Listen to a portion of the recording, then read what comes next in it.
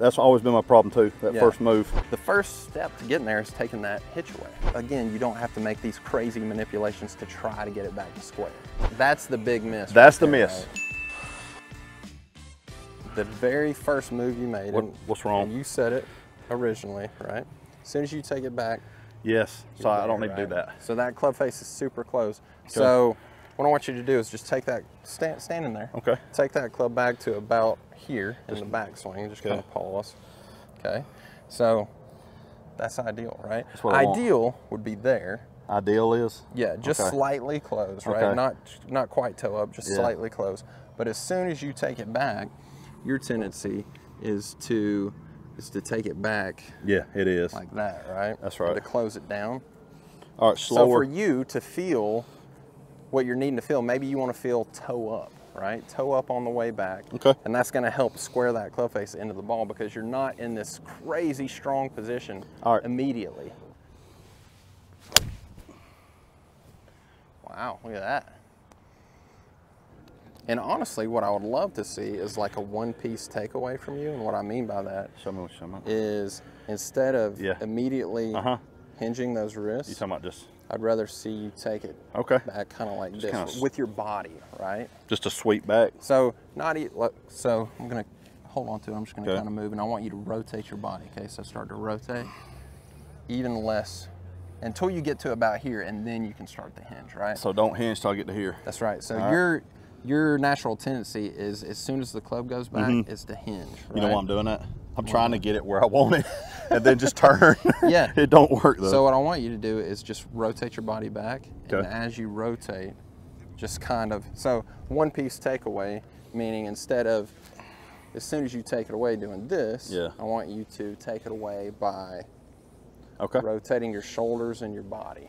Without a ball, I want you to take a couple of backswings where you feel like, and I want you to pay attention as much as you can to the butt of the club, so right here. I want you to Mm-hmm. pay attention to this. I want this to be pointed at your at your belly button until it gets parallel with the ground, right? So even slower, slower, slower, slower, super slow. And I want you to, so go back down. Dang. So go back all the way down. All I don't want the club to go any further than this. So see how your natural reaction is to, Why? to Why cock those? What's wrists. going on? It's just natural for you. Dang it's just it. what you naturally want to do. So try to feel like, Don't. see that this that hinge there? Yeah. Try to feel like it's more there, Okay. right? So no hinge, minimal hinge, Right. Is right? that it? Yep. Yeah. I'm just. I'm not doing anything right. That's just, better, way better. Yep. Because your natural tendency is when you first start, it's just to hinge it bad, right? And what that does is it closes the club face way down. And then to get it back to square, you've got to make these manipulations back here to try to get it back to square, which is hard to do. Yeah, right? it's rough, So it's easier just to try to keep it square all the way through Uh-huh. as opposed to get it super closed and then somewhere along the way try to get it back to square. So toe up, one one piece move. So even less wrist hinge than that. There you go. So I don't I don't want you to feel like you're hinging your wrists until that club gets here. So watch my watch my right, let me wrists. see. Watch my wrist angles here. Am I hinging it? I don't feel like I am. Oh, I am. There you go. That's it, right? So there's some Wow, that's So go down slow or Yeah. go back. So you'll feel some forearm rotation, right? Not wrist hinge. Okay. So these forearms are going to rotate Uh-huh. and your wrist is not going to hinge. So there's some forearm. It's And this is pretty neutral right here. yeah, so exactly. So try this. To take it back, I want these the, your forearms here. Yeah. What I want is them to rotate. Right. Rotate So my wrists are not doing much. It's it's essentially this. So do this, Chris. So just Yeah. without without the club, just put your hands together like this, and I want you to do this. So that's forearm rotation, right? Okay. So as soon as you take the club back, instead of doing this, this is your tendency. It is. I want you to do this to All take right. the club back. Okay. So forearm rotation without the wrist hinge. God, that's hard, So man. it's forearm rotation. So essentially, I'm doing this on the way back, yeah. right? I'm just rotating those forearms to get that toe up without the wrist hinge. And the way you're taking the club back is all wrist hinge, All right. no forearm rotation. So you don't have any forearm rotation on the way back. Is that is that right or no? That's better. Now, now do that, but take the wrist hinge out of it until later on, right? It's hard. this, Yeah. and then from here, that's when you're going to start the wrist hinge, right? So just go back to here and pause. So parallel shaft parallel with the ground. So go back to here, and then from there, you're going to start the hinge, right? So stop it right here, where all this is is forearm rotation. That's a great forearm rotation. Okay, and then from there, you can start to really hinge up. To get that forearm rotation, watch, watch how much my body rotates. My hips, right? Yeah. To get to where that club to there, you're just kind of going like this, Yeah, I am. right? So stop it right here.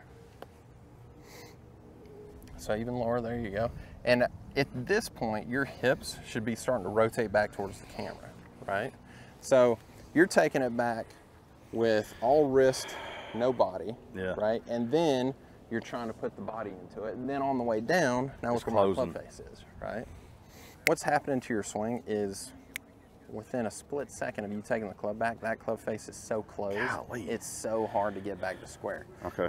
So if you can just rotate that body back, there you go. So this club face position, great, That's it. right? So we kind of wanted to point, You want me even even with that blue line at this point, Yeah. it doesn't need to be so far back here, Okay. just kind of there. All right. So if you could get it to here with a little bit of hip rotation, so rotate, if you could get it to right here, it'd be perfect, Okay. right? That'd be absolutely perfect. So this structure looks great. Again, just stop right here and try to get that, cl- there you go, okay. right in there. I'm working just, on it. just back, there you go, it's perfect. So catcher's mitt. Yep. Yeah.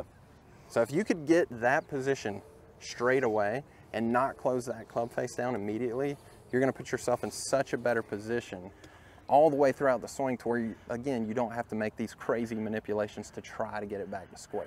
At the moment of impact there, that club face Oh yeah. is Oh yeah. there, Yeah. right? So that's what we've got to fix is the club face. If we can get that club face to point at the target, you're going to hit some really beautiful shots.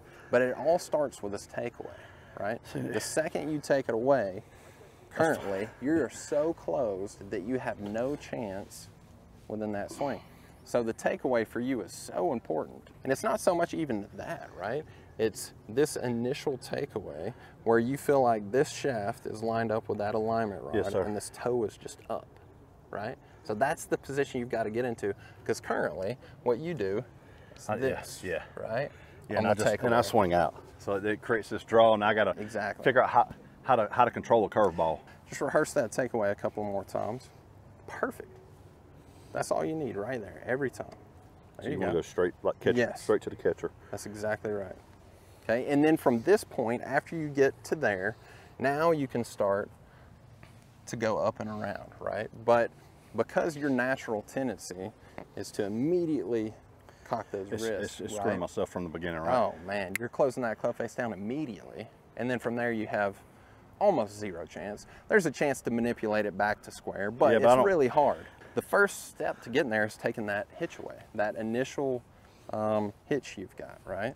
So, like you say, straight back to the catcher's mitt.